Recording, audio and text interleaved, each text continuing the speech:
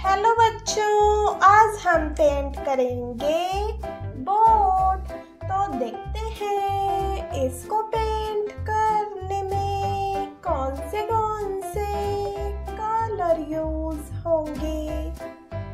Red colour orange colour light green colour yellow colour sky blue colour